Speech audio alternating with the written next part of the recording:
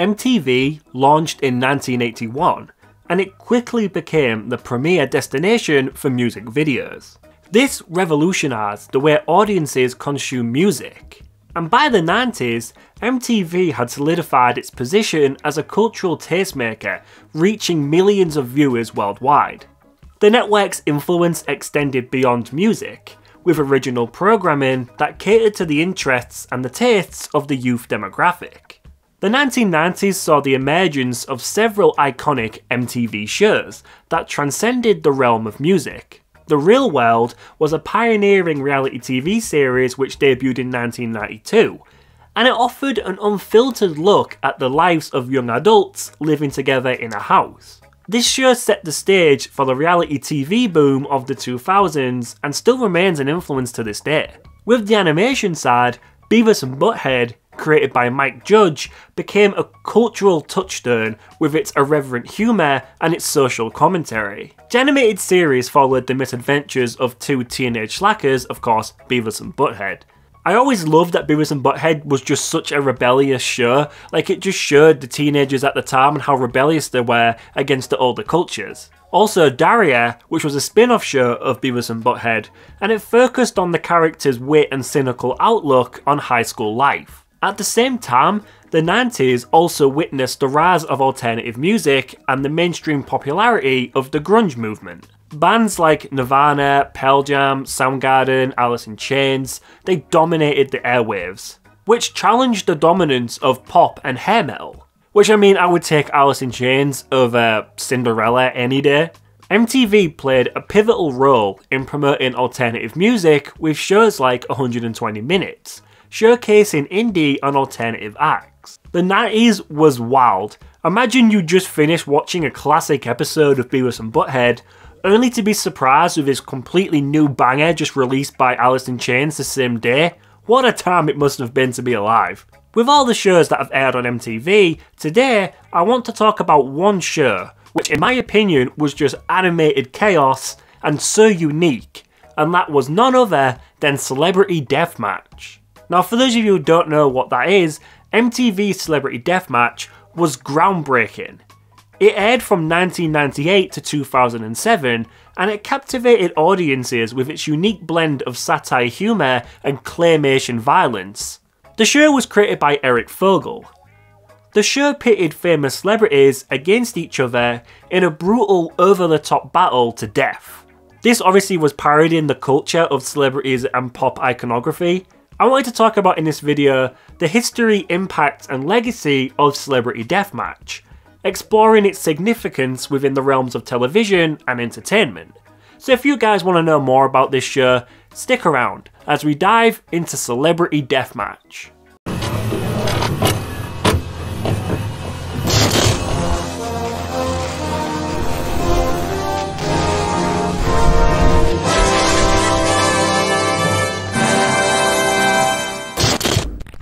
Now, Celebrity Deathmatch originated from a series of short films which was created by Eric Fogel in the early 1990s, which I believe they aired on Liquid Television, which was kind of like a very early Adult Swim, I believe. I could be wrong, but that's the kind of vibe I get off it. These short animations featured claymation versions of celebrities engaging in violent confrontations. This caught the attention of MTV executives. In 1998, MTV greenlit a full series based on Fogel's concept, and thus Celebrity Deathmatch was born. Now, the format of Celebrity Deathmatch is pretty easy to understand. It typically involved two famous figures facing off in a wrestling ring, with the commentators Nick Diamond and Johnny Gomez providing a comedic commentary. One of my favourite things about this show was just the appearance of Stone Cold Steve Austin in just many of these episodes. It just makes me laugh looking back at it because WWE back at that point was huge in the 90s. I mean, it is now as well. I'm still a huge fan. But in the 90s, it just felt different. Now, the matches often parodied real life feuds, controversies, and a pop culture phenomenon. The show spared no expense in depicting graphic violence and gore using claymation, adding to its shock value and dark humour.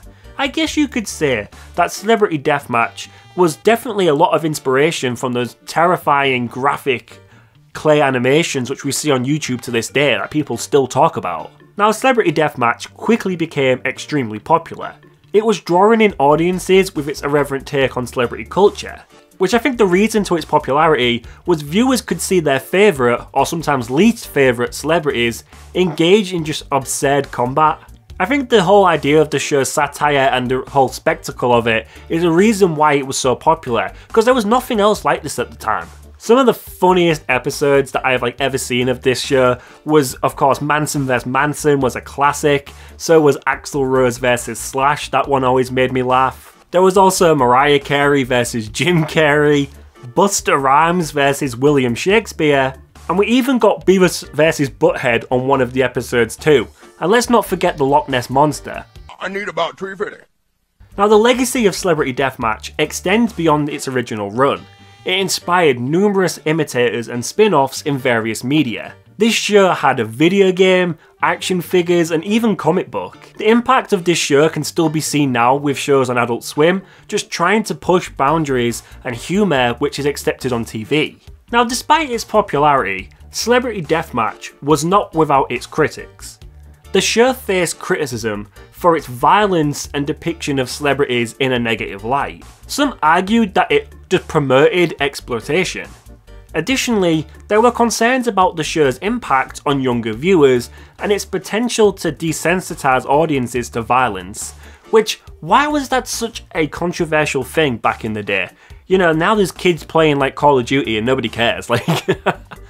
so in conclusion, MTV Celebrity Deathmatch has left a huge mark on television and pop culture. With its blend of humour, satire, and claymation carnage, the show entertained audiences and challenged societal norms surrounding celebrity worship. While it may have got controversy at times, its legacy as a groundbreaking and influential series is just undeniable. The show may have had loads of little satire and very well placed jokes, but to me, the one thing that I love about Celebrity Deathmatch is it's just a show that you can turn on, you can have a laugh, you can enjoy it, and you can watch claymation celebrities get brutally murdered. What's not to like? And that is the end of today's video. I hope you guys enjoyed. Sorry that this video wasn't really long or in depth like my Family Guy one. I've had a really busy week and of course a busy weekend with Easter, so happy Easter to everybody who is watching who celebrates Easter. Hope you have a good one and I hope the Easter Bunny comes to visit you.